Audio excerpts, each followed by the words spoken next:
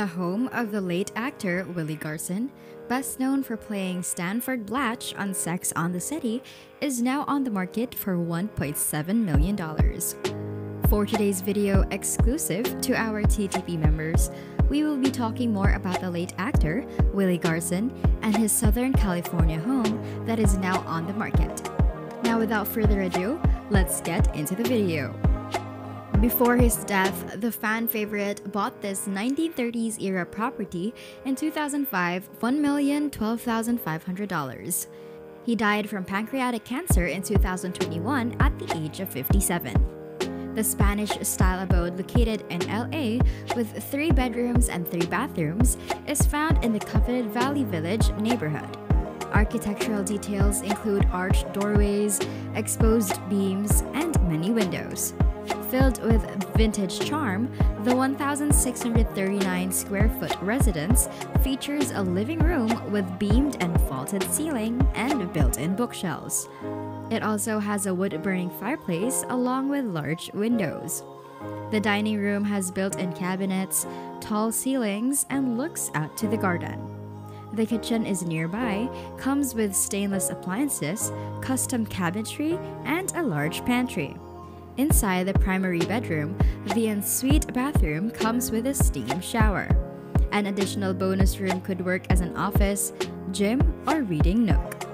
The property has a tranquil oasis outside with a pool and spa. The thick foliage offers privacy and the property has mature plants and flowers. A patio made of bricks is attached to the home.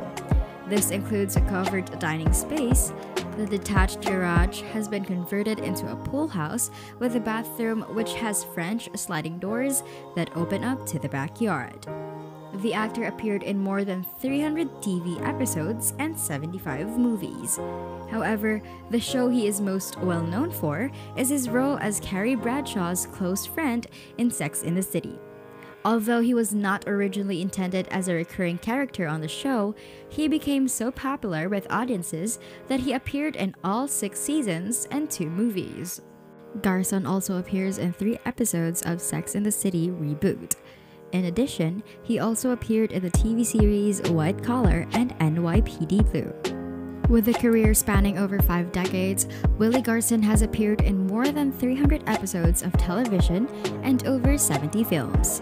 He is most well known for his long runs as Mozzie on White Collar 2009, Stanford Blatch on Sex and the City 1998, and Henry Coffield on NYPD Blue 1993. Garson also appeared as the grifter with the Heart of Gold, Jared Hirsch on Y50 2010. He was born in New Jersey and then moved to New York to pursue acting. After graduating from Middletown, Connecticut, he majored in psychology and theater at Wesleyan University. After graduation, he quickly started landing guest roles on such shows as Cheers 1982, Family Ties 1982, 30 Something 1987, LA Law 1986, as well as continually recurring in a wide array of shows including The X Files 1993. Twin Peaks, 1990, Two and a Half Men, 2003, Stargate SG1, 1997, Pushing Daisies, 2007, The Practice, 1997, Ally McBeal, 1997, and his favorite long form role on TV was Dr. Kreutz for Steven Spielberg in the acclaimed miniseries Taken, 2002. Garson also appeared in many episodes of Boy Meets World in 1993 and Girl Meets World 2014. Concurrent with his mainstream film roles, he has appeared in many TV productions. His most famous role from Sex and the City was reprised in two more films Sex and the City 2 2008 and Sex and the City the movie 2010 as well as others such as There's Something About Mary 1998, Kingpin 1996, Fever Pitch 2005, Soap Dish 1991, Groundhog Day 1993, among many others. He has worked with many different directors such as Spike Jonze, Michael Bay, and the late great Mike Nichols. One of Garson's next projects is Feed 2017, a movie that he's very proud to be part of. His other upcoming films include Seven Days to Vegas 2019 and Magic Camp 2020. As a director, Garson directed episodes of The White Collar and Girl Meets World. And with Warner Brothers, had TV shows in development as producer or creator.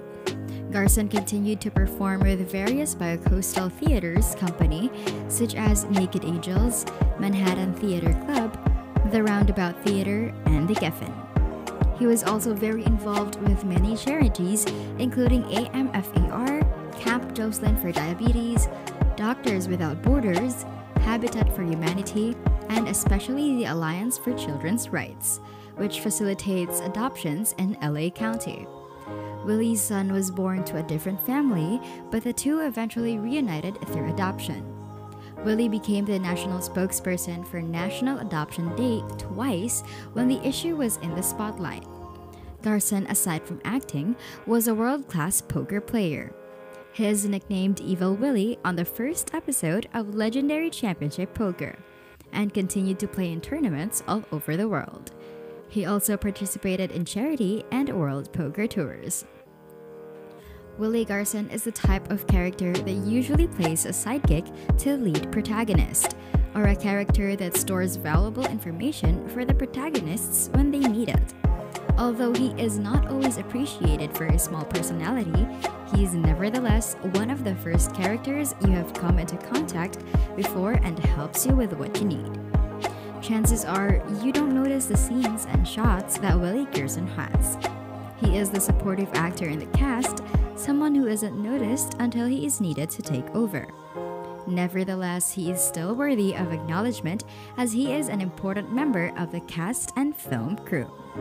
Everyone got their niche right, so here are the five things that you probably didn't know about Willie Garson. First is that he's close friends with Sarah Jessica Parker. He's known the actress for the past 15 years. It is good to have a list talent in your contact list and on your side. However, you do not want to learn on them unduly.